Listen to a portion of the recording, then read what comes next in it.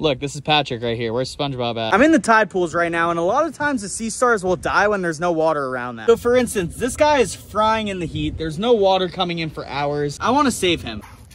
I did not know sea stars were this strong. This thing is so strong. Come on, buddy. I'm trying to help. Oh, we got him. We finally got him. I know he doesn't know I'm helping, but he'll be happy when he realizes he's in cold water. These guys are very important to the ecosystem, so saving these guys are very good. Here you go, buddy. Here's another one. The tide isn't gonna come in for a few hours, so we could rescue him.